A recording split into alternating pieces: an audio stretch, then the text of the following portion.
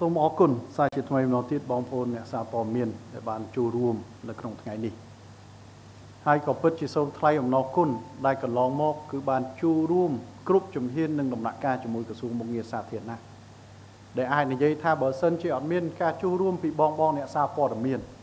ប្រហែលជាមហាជនប្រជាជនគួបសំទាំងបេក្ខជន និងអ្នកដែលមានបំណងដាក់ឈ្មោះប្រឡងប្រហែលជាគាត់មិនបានទទួលព័ត៌មានគ្រប់ជ្រុងជ្រោយផងដែរអញ្ចឹងការខំប្រឹងប្រែងរបស់ក្រសួងមុខងារសាធារណៈក៏មិនអាចជ្រាបនិងមានការផ្សព្វផ្សាយទូលំទូលាយជូនទៅដល់ប្រជាពលរដ្ឋហើយក៏ប្រជាពលរដ្ឋមិនអាចតាមដានទាំងស្រុងទៅលើអ្វីដែលជាកិច្ចការងារដែលយើងកំពុងតែអនុវត្តធ្វើសូមសារបញ្ជាក់ជាថ្មីក្រោយពីបានគោលការណ៍ណែនាំពីសម្ដេចមហាបវរធិបតីហ៊ុនម៉ាណែតក្នុងការការកែលម្អប្រព័ន្ធជ្រើសរើសមន្ត្រីរាជការស៊ីវិល ហើយនៅក្នុងសន្និសីទសារព័ត៌មានដែលខ្ញុំបានលើកឡើងហើយទី1គឺសម្រាប់ចាក់គុកវិស័យរបស់សម្ដេចធិបតីហើយជាពិសេសផ្អែកទៅលើគោលការណ៍គុណធិបតីតម្លាភាពយុទ្ធធម៌បរិយាបន្ននិងប្រសិទ្ធភាពផ្អែកទៅលើការជ្រើសរើសមន្ត្រីរាជការក្នុងការចូលបម្រើការងារក្នុងក្របខ័ណ្ឌមុខងារសាធារណៈអ្វីដែលយើងរៀបចំ គឺរៀបចំដើម្បីធានាការផ្ដល់ឱកាសស្មើស្មើគ្នា ហើយនឹងឱកាសច្រើនដង ដើម្បីឲ្យយុវជនយុវនារីយើងដែលមានបំណងប្រាថ្នាមានចិត្តចង់ហើយអ្នកមួយចំនួនមានក្តីស្រមៃចង់ចូលរួមនៅការប្រកួតប្រជែងផ្អែកទៅលើសមត្ថភាពរបស់ខ្លួន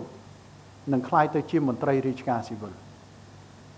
កិច្ចការទាំងអស់នេះវាទៅព្រមព្រំគ្នាហើយយើងខ្ញុំទាំងអស់គ្នាជាសេនាធិការ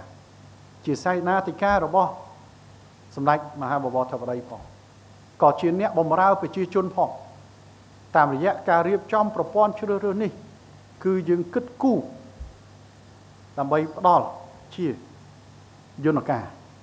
ផ្ដល់ជាលក្ខណៈសម្បត្តិនឹងការរៀបចំប្រព័ន្ធដើម្បីឲ្យយុវជនយុវនារីយើងដែលក៏អាចសម្រេចបានក្តីស្រមៃរបស់គាត់តែក្តីស្រមៃនេះអាចសម្រេចទៅបានគឺផ្អែកទៅលើសមត្ថភាពរៀងៗខ្លួនអ្វីដែលពួកខ្ញុំអាចធានាបានគឺឱកាសស្មើស្មើគ្នានឹងច្រើនដងតែសមត្ថភាពជោគជ័យឬមិនជោគជ័យ គឺវាត្រូវផ្អែកទៅលើមូលដ្ឋាន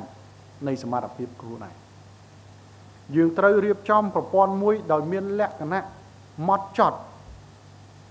ចឹងហើយកន្លងមកគឺមានការលើកឡើងដូចគ្នាដែរថាអេខ្ញុំបានចុះឈ្មោះហើយ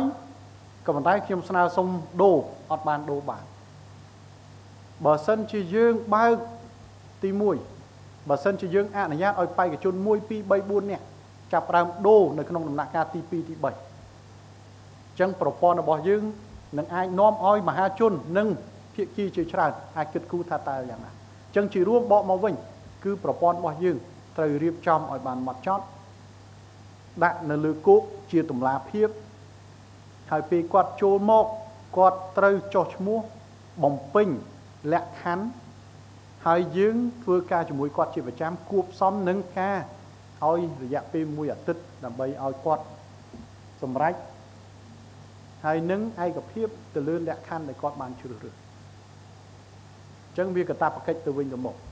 ហើយយើងនឹងខំប្រឹងប្រែងធ្វើកិច្ចការទាំងអស់គ្នាបន្តទៅមុខបន្ថែមទៀតសូមស្នើសុំឲ្យពុកម៉ែមីបងប្អូនជនរួមជាតិទាំងអស់សូមតាមដានទៅលើអ្វីដែលជាកិច្ចការងារនិងកិច្ចកាត់ខំប្រឹងប្រែងរបស់ក្រសួងមុខងារសាធារណៈដែលជំនួសមុខឲ្យថ្នាក់ដឹកនាំឲ្យដមរដ្ឋលេខាធិការប្រចាំការ ហើយឧត្តមលោកជំទាវរដ្ឋលេខាធិការអនុរដ្ឋលេខាធិការថ្នាក់ដឹកនាំបច្ចេកទេសគ្រប់ជាន់ថ្នាក់ទាំងថ្នាក់ជាតិនិងថ្នាក់ក្រោមជាតិទាំងអស់ជំនួសមុខឲ្យពួកគាត់ទាំងអស់គឺសូមថ្លែងអំណរគុណហើយសូមឲ្យមានការតាមដានចូលរួមហើយនឹងផ្ដល់នៃជំនឿទុកចិត្តសម្រាប់យើងខ្ញុំទាំងអស់គ្នាដែលកំពុងតែខំប្រឹងប្រែងអនុវត្តអ្វីដែលជាគោលនយោបាយរបស់រាជរដ្ឋាភិបាលហើយជាពិសេសក្រមការណែនាំជាប្រចាំ របស់សម្ដេចមហាបវរធិបតីយើងអាចធ្វើកិច្ចការងារនេះបានសម្រេចក៏ដោយសារយើងរស់នៅក្នុងក្នុងរូបនៃសុខសន្តិភាពហើយម្សិលមិញនេះក៏យើងបានស្ដាប់ទៅលើសាររបស់សម្ដេចនាយកប្រធានព្រឹទ្ធសភាផងដែរអញ្ចឹងចំពោះអ្វីដែលជាកិច្ចការបន្តគឺក្នុងក្របខ័ណ្ឌនៃការជ្រើសរើសប្រឡងជ្រើសរើសគ្រូបឋមសិក្សាគឺយើងនឹងសហការជាមួយសារព័ត៌មានបន្ថែមទៀតទៅមុខបន្ថែមទៀត ចឹងសូមអរគុណបងបងអ្នកសារព័ត៌មានដែលបានមកចូលរួមនៅក្នុងថ្ងៃនេះសូមអរគុណ